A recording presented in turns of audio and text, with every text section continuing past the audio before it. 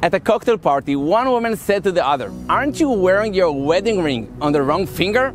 The other replied, Yes, because I'm married to the wrong man. At times, your situation might be painful, but it could always be much worse. Perhaps if someone tells you it could be worse, you will feel resentment. But if you yourself realize that things really are better than they might have been, you will be able to tolerate the situation. Whenever things are not as you wish, ask yourself, how could things have been worse? At the root of complaining is thinking that the situation could be better.